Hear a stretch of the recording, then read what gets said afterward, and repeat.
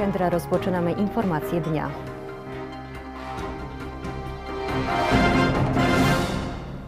Była premier Ewa Kopacz jest przesłuchiwana w sprawie braku sekcji zwłok ofiar katastrofy smoleńskiej. W sprawie przesłuchano także byłego współpracownika Donalda Tuska Tomasza Arabskiego. Informację potwierdziła rzecznik prokuratury krajowej. Jednym z powodów trwających obecnie ekshumacji ofiar katastrofy smoleńskiej są błędy w dokumentacji medycznej sporządzonej przez rosyjskich biegłych. Po przeprowadzonej ekshumacji w trumnie generała Włodzimierza Potasińskiego znaleziono szczątki trzech innych ofiar. Do sprawy powrócimy w kolejnych serwisach. Kolejne zatrzymania w związku ze śledztwem dotyczącym korupcji w sądzie apelacyjnym w Krakowie. Wśród zatrzymanych przez rzeszowską delegaturę CBA pięciu osób są m.in. zastępca dyrektora sądu, specjalista do spraw zamówień, pełniący obowiązki głównego księgowego i informatyk. Szkody wynikające z działalności całej grupy są oceniane na 35 milionów złotych.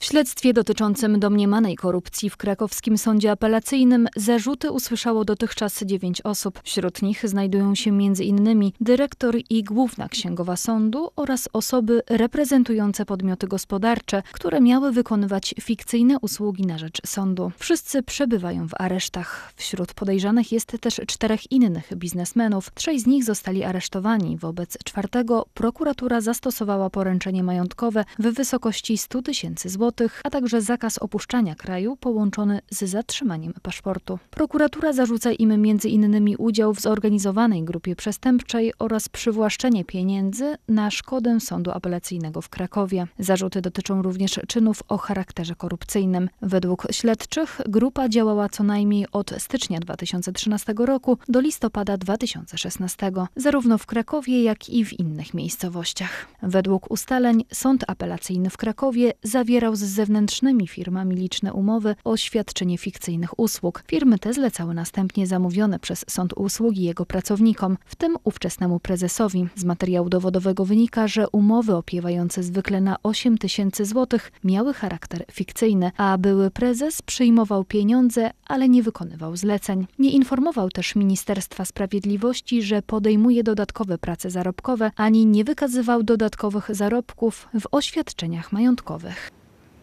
Program Rodzina 500 Plus nie powoduje dezaktywizacji zawodowej kobiet, powiedziała minister Elżbieta Rafalska. Szefowa resortu Rodziny, Pracy i Polityki Społecznej zapewnia, że uważnie monitoruje dane, również na poziomie regionów i jak dodaje, żadnych niepokojących sygnałów nie ma.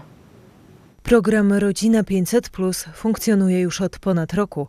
Od tego czasu wiele polskich rodzin może liczyć na comiesięczne wsparcie ze strony państwa. Dzięki temu niektóre z rodzin po raz pierwszy mogły sobie pozwolić na przykład na wakacyjny wyjazd. Jednak od początku wejścia w życie programu Ministerstwo Rodziny, Pracy i Polityki Społecznej jest atakowane. Niektórzy twierdzą, że uruchomienie programu powoduje dezaktywizację zawodową kobiet. Tymczasem, jak mówi minister Elżbieta Rafalska, Program Rodzina 500 Plus nie powoduje dezaktywizacji zawodowej kobiet. Sytuacja na rynku pracy w Polsce jest bardzo korzystna. Zmienia się dynamicznie e, i systematycznie rośnie zatrudnienie i spada bezrobocie. E, dzięki temu też na arenie międzynarodowej e, zyskujemy, poprawia się nasz wizerunek, a dystans do średniej w Unii Europejskiej w zakresie głównych wskaźników opisujących sytuację na rynku pracy jest coraz mniejszy. Współczynnik aktywności zawodowej ludności w wieku produkcyjnym, czyli od 15 do 64 lat, wyniósł w ubiegłym roku blisko 70% i w porównaniu do roku 2015 wzrósł o 0,7 punktu procentowego. Jak to wygląda w oparciu o dane z pierwszego kwartału 2017 roku? Ten współczynnik przekroczył już 69%, 1,1 punktu procentowego, a więc był wyższy o 0,6 punktu procentowego w odniesieniu do roku 2016, w którym spadek bezrobocia był e, duży, więc to e, tempo wzrostu aktywności zawodowej jest e, duże. Z programu Rodzina 500 Plus korzysta ponad 2 miliony rodzin, a świadczenie otrzymuje prawie 4 miliony dzieci. Program wspiera 55% wszystkich polskich dzieci do 18 roku życia. Do rodzin trafiło już w sumie 21 miliardów złotych. Sejmowa podkomisja zatwierdziła poselski projekt noweli prawa o ustroju sądów powszechnych. Zmienia on m.in. zasady powoływania i odwoływania prezesów i wiceprezesów sądów. Do projektu wprowadzono liczne poprawki zasugerowane przez Sejmowe Biuro Legislacyjne. W piątek projektem zajmie się Komisja Sprawiedliwości i Praw Człowieka. Dziś prezesów sądów apelacyjnych oraz okręgowych powołuje minister sprawiedliwości po zasięgnięciu opinii zgromadzeń ogólnych tych sądów. Prezesów sądów rejonowych powołują zaś prezesi sądów apelacyjnych po zasięgnięciu opinii sędziów danego sądu rejonowego i prezesa przełożonego sądu okręgowego. Nowy projekt autorstwa Prawa i Sprawiedliwości przewiduje z kolei odstąpienie od modelu powoływania prezesów sądów apelacyjnych i okręgowych po uzyskaniu opinii zgromadzeń ogólnych, a w przypadku ich negatywnej opinii po uzyskaniu pozytywnej opinii KRS. Propozycja zakłada też odstąpienie od zasady powoływania prezesa sądu rejonowego przez prezesa sądu apelacyjnego z zastosowaniem procedury opiniowania kandydata na rzecz powoływania go przez ministra sprawiedliwości. Zasadą ma być losowy przydział spraw sędziom, którzy mieliby być równo obciążani pracą. Poszerzony miałby być zakres oświadczeń majątkowych sędziów. Sędzia sądu rejonowego mógłby awansować bezpośrednio do sądu apelacyjnego. Wprowadzona ma być też możliwość delegacji sędziego do MSZ oraz kancelarii prezydenta. Opolscy policjanci z Centralnego Biura Śledczego Policji zlikwidowali nowoczesną plantację marihuany. Zatrzymano dwóch mężczyzn, ojca i syna mieszkających pod Nysą. Są oni podejrzani o produkcję i handel narkotykami na wielką skalę. Grozi im do 12 lat więzienia. Policjanci w samochodzie młodszego z mężczyzn znaleźli pół kilograma marihuany. W tym samym czasie inna ekipa funkcjonariuszy pojechała do domu zatrzymanego. Na poddaszu domu, w którym mieszkali mężczyźni, znaleziono profesjonalną plantację marihuany. Wartość nowatorskiego sprzętu wykorzystywanego do uprawy narkotyków mogła sięgać blisko 100 tysięcy złotych, zaś czarnorynkowa wartość znalezionych narkotyków przekracza milion dwieście tysięcy złotych. Według policji jest to pierwsza plantacja prowadzona w tak nowoczesny sposób. Oprócz 360 krzewów konopi, z których można uzyskać ponad 70 kg gotowego produktu, na miejscu znaleziono 7,5 kg marihuany przygotowanej do sprzedaży. Obaj mężczyźni zostali tymczasowo aresztowani. W prokuraturze okręgowej w Opolu usłyszeli zarzuty związane z wytwarzaniem, posiadaniem i handlem znaczną ilością narkotyków. Uszkodzone dachy i połamane drzewa to skutek burz i silnego wiatru, które nawiedziły nasz kraj. W ciągu ostatniej doby strażacy interweniowali aż 1100 razy, najwięcej w województwach lubuskim, małopolskim i wielkopolskim. W zachodniopomorskim ranna została jedna osoba. W całym kraju silny wiatr uszkodził dachy na 33 budynkach, w tym na 17 mieszkalnych. W tej chwili najpoważniejsza sytuacja jest w miejscowości Okleśna w Małopolsce. Niewielka rzeczka, która jest dopływem Wisły, wystąpiła z brzegów. Podtopionych zostało około 50 posesji, zalany został obszar około 15 hektarów. Na miejscu działa 17 jednostek straży pożarnej, wyposażonych m.in. w pompę o dużej wydajności. Z ostatnich danych Rządowego Centrum Bezpieczeństwa wynika, że w nocy około 12 tysięcy odbiorców nie miało prądu. Nazwiska i biografie wszystkich powstańców warszawskich w ciągu roku pojawią się w internecie. Archiwum Państwowe w Poznaniu zdigitalizuje kilkaset tysięcy rozmaitych dokumentów dotyczących powstania i jego uczestników. Prace nad skanowaniem dzieł rozpoczęły się także w Bibliotece Kurnickiej. Za rok w Poznaniu świętować będziemy setną rocznicę Powstania Wielkopolskiego. Do tej okrągłej rocznicy w sposób szczególny przygotowują się pracownicy Archiwum Państwowego w Poznaniu. W internecie zamieszczają dokumenty z czasów powstania. Szacujemy, że będzie tego około 80 tysięcy skanów. W tej chwili wykonaliśmy ponad połowę, jest to niespełna 50 tysięcy skanów. Część materiałów, tak jak powiedziałem, jest już dostępna w internecie. Pozostała część będzie stopniowo zamieszczana. Mówi Henryk Krystek, dyrektor Archiwum Państwowego w Poznaniu. Dokumenty zamieszczane są na ogólnopolskim portalu Szukaj w archiwach. Zdigitalizowane materiały mają być też dostępne na stronie archiwum. Digitalizacja to inaczej skanowanie, przetwarzanie obrazu na wirtualny. Zamieszczony obraz jest czytelny i bardzo dokładny. Najgorzej digitalizuje się materiały współczesne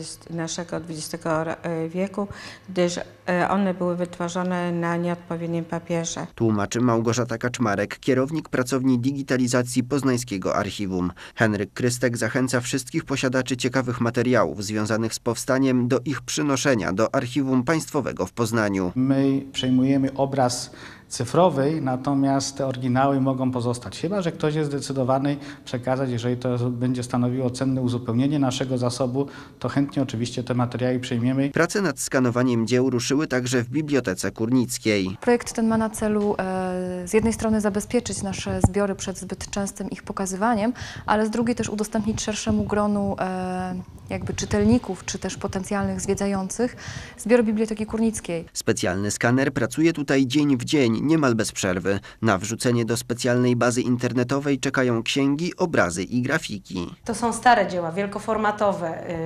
y, y, Papier jest różny, y, poniszczone są te książki i jakby tutaj główna rola jest konserwatorek, żeby przygotować nam bardzo dużo dzie- dzieł do skanowania. Wyjaśnia Monika Szczepaniak z Biblioteki Kurnickiej. Tysiące cennych książek już niebawem będą na wyciągnięcie ręki. Można je będzie przeglądać w komputerze bez wychodzenia z domu. Pieniądze na digitalizację zbiorów Biblioteki Kurnickiej udało się zdobyć z dofinansowania Unii Europejskiej.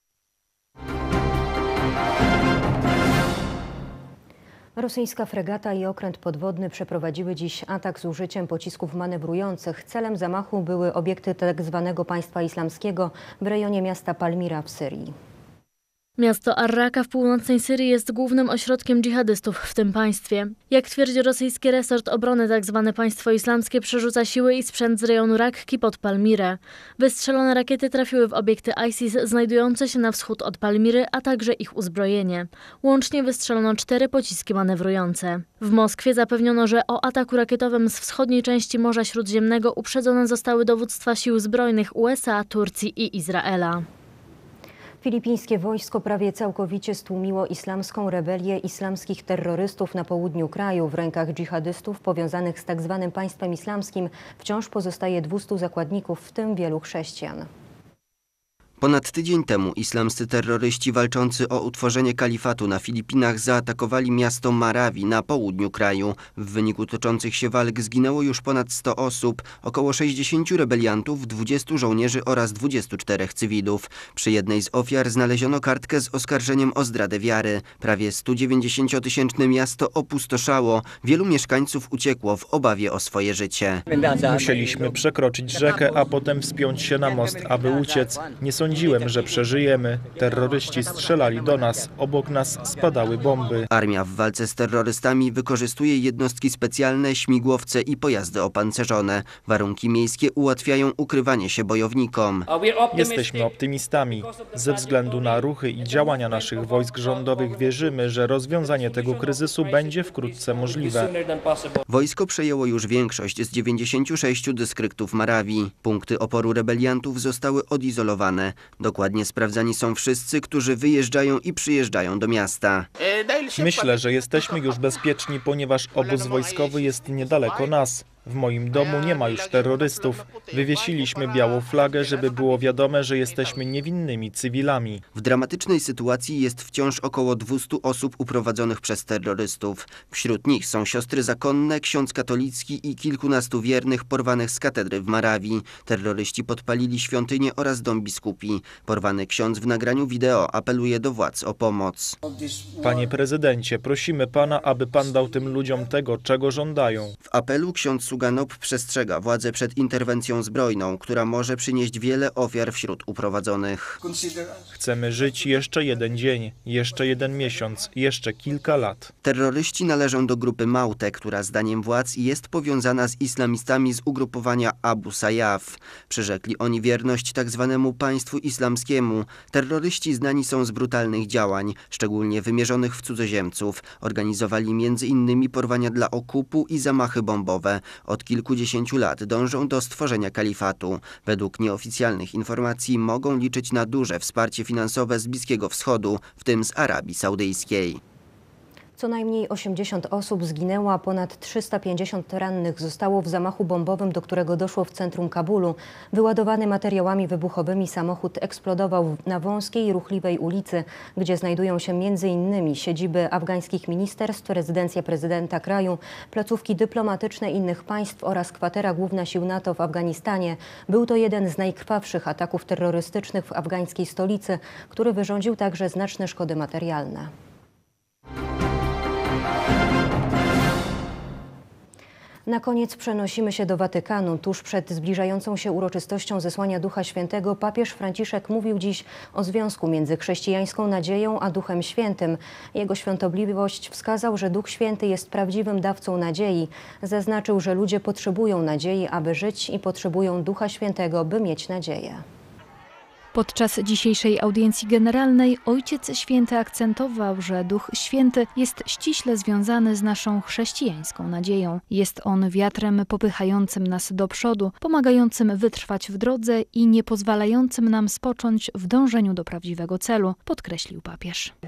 Prawdą jest stwierdzenie, dopóki trwa nadzieja, dopóty trwa życie. Ludzie potrzebują nadziei, aby żyć i potrzebują Ducha Świętego, by mieć nadzieję. Jak słyszymy, święty Paweł przypisuje Duchowi Świętemu zdolność do uczynienia nas wręcz bogatymi w nadzieję. Obfitować w nadzieję to znaczy nigdy się nie zniechęcać, oznacza nadzieję wbrew wszelkiej nadziei. To oznacza żywienie nadziei także wówczas, gdy zabraknie wszelkiego ludzkiego motywu do nadziei. Papież wskazał, że Duch Święty nie tylko sprawia, że jesteśmy w stanie żywić nadzieję, ale również być jej siewcami. Niech bliskie już święto Pięćdziesiątnicy zastanie nas zgodnymi na modlitwie z Maryją, Matką Jezusa i naszą, a dar Ducha Świętego niech sprawi, abyśmy obfitowali w nadzieję. Na zakończenie następca świętego Piotra pozdrowił przybyłych do Watykanu pielgrzymów, w tym naszych rodaków. Na teraz to już wszystkie informacje, które przygotowaliśmy dla Państwa. Dziękuję za uwagę. Życzę słonecznego popołudnia. Z Panem Bogiem.